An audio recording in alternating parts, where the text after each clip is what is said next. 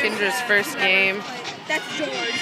She's Maniac Musketeer. Oh, somewhere up there. Yeah, she's playing the cymbals. Really is George. Yeah, one of I didn't know it was Harry. Okay. Yeah, um, I hate football.